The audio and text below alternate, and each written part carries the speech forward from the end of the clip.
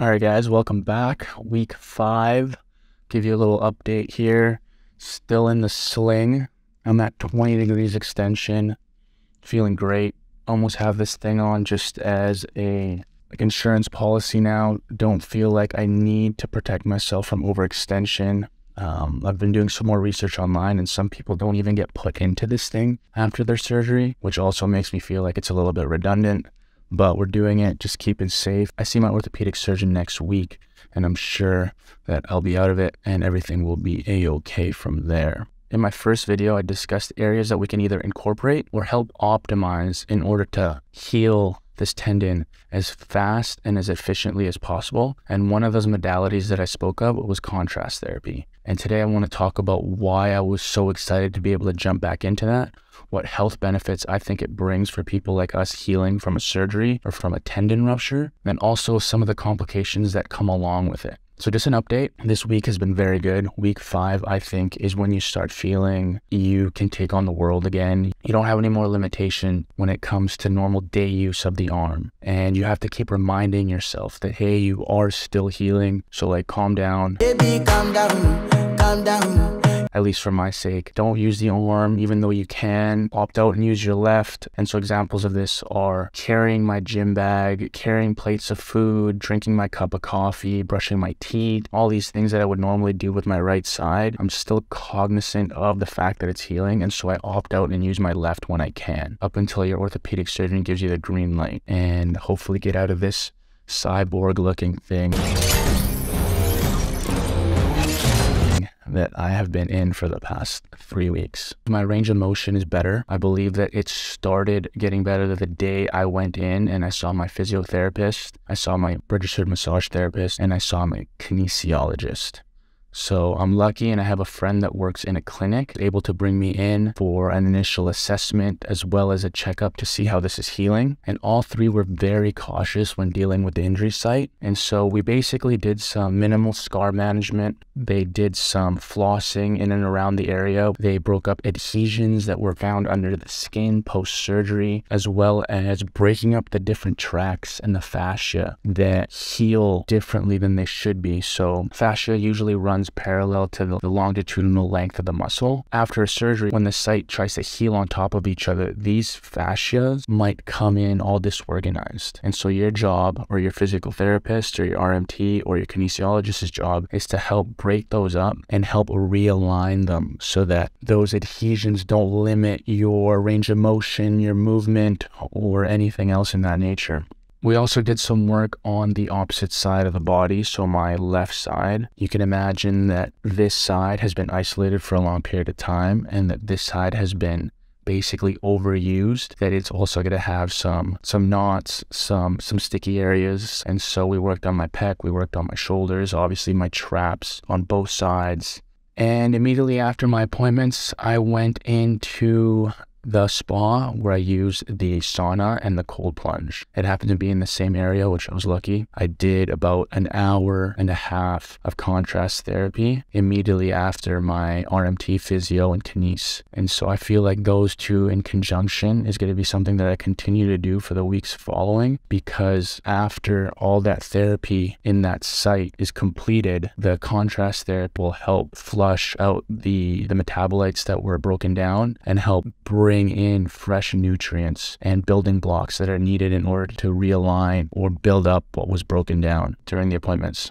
So in my last video, I discussed the details of how exercise can help expedite the healing process with response to hormones, as well as that scientific process called cross-education. Now today, for the remainder of the video, I want to discuss why I believe contrast therapy is equally important when it comes to the healing process of a tendon, as well as the speed in which it heals and how fast we can get back to normality. Now, there's two different ideologies with contrast therapy, and I'll let you decide at the end of this video what you feel like you belong to more. There are some notable names, Dr. Andrew Huberman, Joe Rogan. You see in these human studies up to 16 fold increases in growth hormone. So you can imagine this could exert some very strong reparative effect if you're training for a big event or endurance event. That say that contrast therapy is beneficial in all ways when it comes to longevity, hormone regulation, mood, overall health with respect to heat shock proteins and how they can help get rid of dysregulated proteins in the body. And there's another camp that believes all the scientific studies with respect to contrast therapy are biased.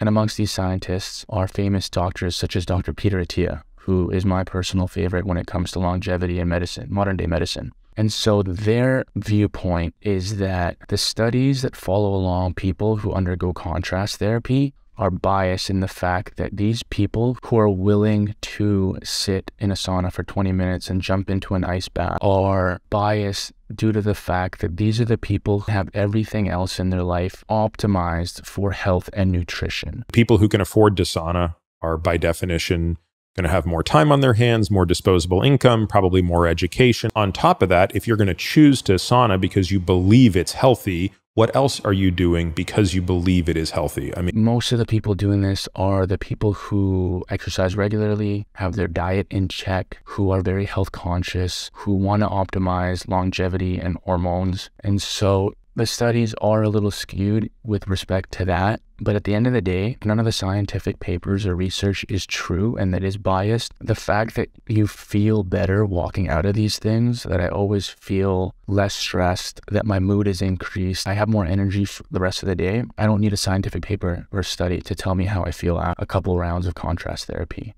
And for that reason alone, I will continue doing this, even though the benefits are somewhat in a gray area.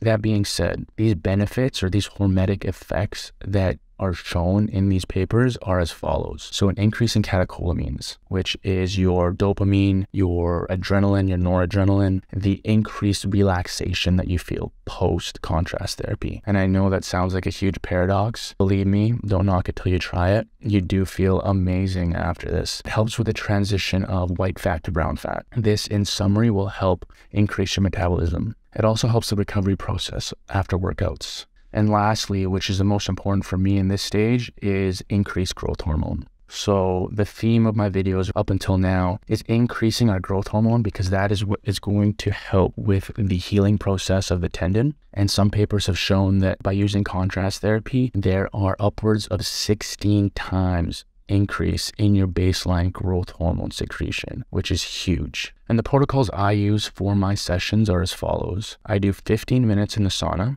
followed by three minutes in the cold plunge, and then sum it all up to sitting down for about 10 minutes in room temperature, allowing the body to reacclimatize to its baseline temperature. Now, this 10 minute period is where benefits are shown to be gained the most it's tempting to jump into like a jacuzzi or a hot tub immediately after the cold plunge, but you want your body to come back to baseline on its own. And in this period, you might be shivering, you might be shaking, and that's all fine. Just know that that's part of the hormetic stress that your body needs in order to gain the, the benefits of the contrast therapy. And another reason why, and this could just be anecdotal, is that I feel that I reach deeper levels of sleep the days I use the sauna. So I said earlier, I use the sauna three to four times a week.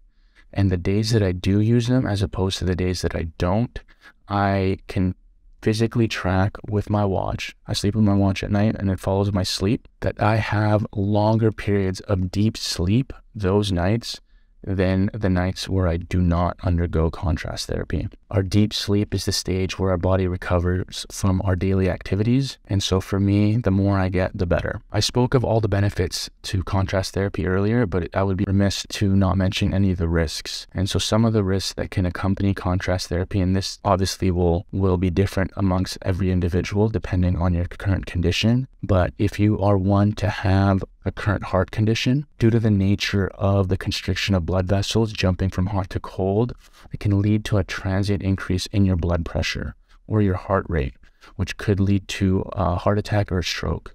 And so before jumping into any of this, it would probably be wise to talk to your healthcare professional. Another risk to contrast therapy that it blunts your hypertrophic response to the workout.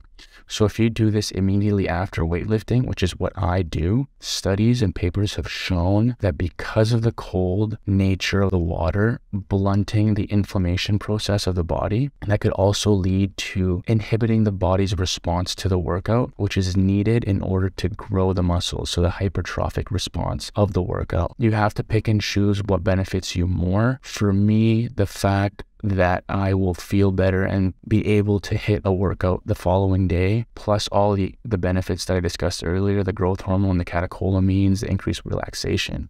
All of those outweigh the fact that I might not be getting as big as I can with each of my workouts. Those are the benefits to contrast therapy and the reason why I continue to do them three to four times a week, and why I believe if you want to give yourself the best chance at healing a distal bicep tendon rupture or any tendon rupture for that matter, or you should think of incorporating contrast therapy to your recovery and rehab routine. I guess. See you on the next one.